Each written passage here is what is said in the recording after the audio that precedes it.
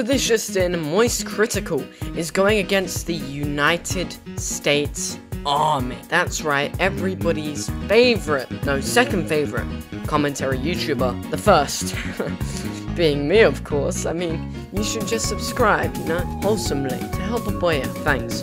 Seriously though, I appreciate it. Anyway, he's not actually going against the US Army, even though he probably could with those massive biceps. No, what he's actually doing, actually doing, that sounds so, actually doing is suing the US immigration system organization after their Apex Legends team was denied entry to the country. If you didn't know, Moist Critical owns an esports team, and in this esports team, he has a Apex Legends team. Unfortunately, they were not able to get entry into the United States and he had to drop the whole team in a massive event, cancelling so many plans, ruining everything, and horribly removing any possibility of winning for those players who worked so hard to be on the Moist Esports team. He was pissed, made a video about how mad he was, and then decided that we, Me Sports, are suing US immigration. We talked with our lawyers, and they agreed that this is very mysterious.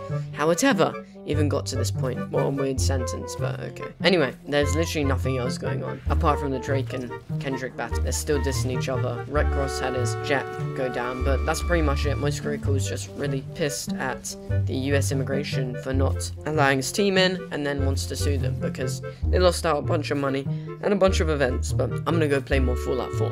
As always, subscribe, like, comment, boost my engagement. Thanks for watching, I'll see you. Quick video for today, keeping the short slot. That's not right.